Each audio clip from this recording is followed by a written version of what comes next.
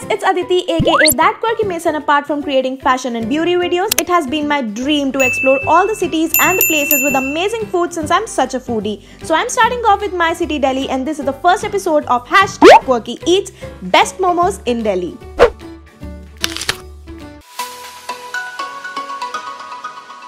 This is a journey to explore the most unique places and in my quest to find the best momos in Delhi, I went to one of the most popular places in Amar Colony. So I am here in Amar Colony near Lajpat Nagar and there is this place called Hunger Strike which is famous for its delicious tandoori momos. So I'm thinking I'm gonna try the chicken tandoori momos here. Let's go. They have both veg and non-veg options and some of the best tandoori momos variety. After waiting for about 10 minutes, I got my hands on these crispy looking momos covered in gravy masala. So these are the chicken tandoori momos. They serve it with two chutneys. One with the normal momo chutney which is really spicy and one is the green chutney. You can also get mayo if you want to. So I'm just gonna try it.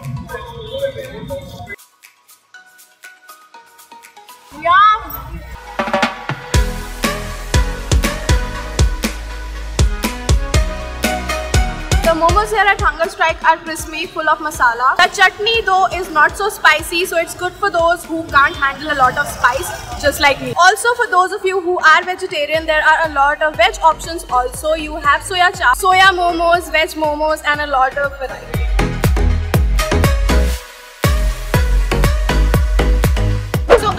Starting of Lajpat Nagar market. Another thing this place is known for this tiny place called Dolma Aunty Momos. I have never seen a momos joint this crowded at 11 in the morning. Getting your turn here is a struggle, but finally I managed to get my hands on these steamed momos. So I'm gonna give my first review to these Dolma Aunty momos which are really really famous. I've ordered the paneer ones because I recently had the chicken ones so here we go. They're really hot. Mmm, quite nice. They're not at all spicy. Generally I like tandoori momos and fried momos more. Not the steamed ones because they feel like they're healthy options to momos.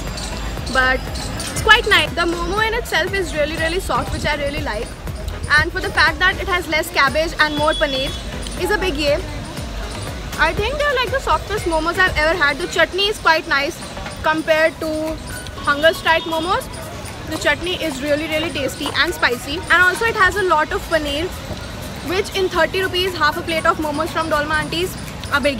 These were the softest, most delicate steamed momos ever with handmade vibe of the spicy chutney. Now I understand why this place is so popular in Delhi. Having steamed and tandoori momos is pretty common, but have you heard of kurkure momos? I found this place called Last Bencher Snacks with a Twist in Tagore Garden with this amazingly vast menu, and I'm mostly excited about this plate of kurkure momos for 90 rupees. These momos are stuffed with paneer, coated with purpose flawed paste and rolled into flakes to deep fry them. They come out as huge and crispy and I cannot wait to try them. So my kurkure momos are ready. These are huge pieces momos, almost looking like a pakora. Eight huge pieces of momos for 90 rupees is quite a great deal served with two sauces, the usual momo sauce and mayo. So let us try this and give our first impressions. Okay, I'm gonna mix these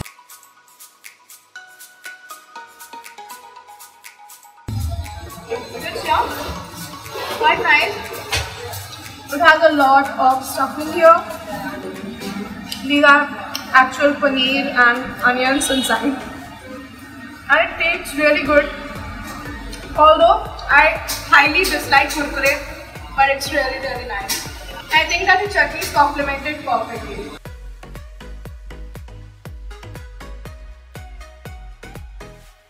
Trust me when I say I can go to extreme levels when it comes to exploring food. Traveling all the way from Lajpat Nagar to Tagore Garden and now Satyaniketan, I went to this famous Chaurangi lane into a small stall called Mom Hand Momos.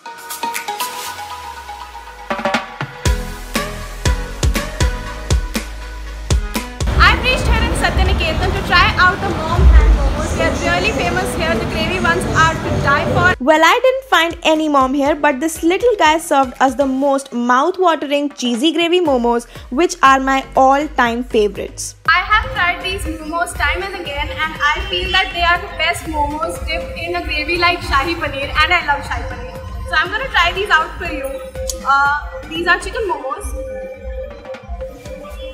Pure bliss. I love it. I'm having cheesy dips. They are quite creamy, heavy and such a desi style to momo. They are quite reasonable. 30 rupees for half a plate is really really nice. You get about 6 pieces. So if you plan to visit Satyaniketan, do make sure you come to Chaurangi Lane to visit these mom hand momos.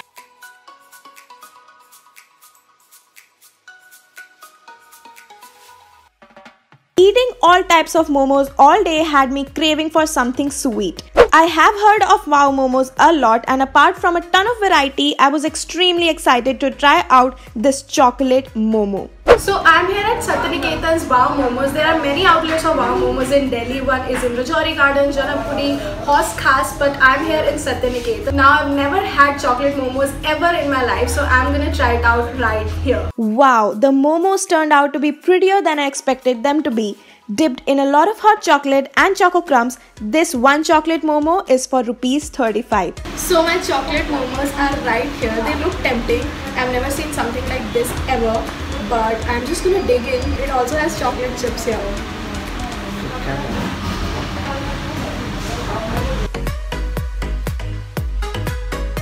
Death by chocolate.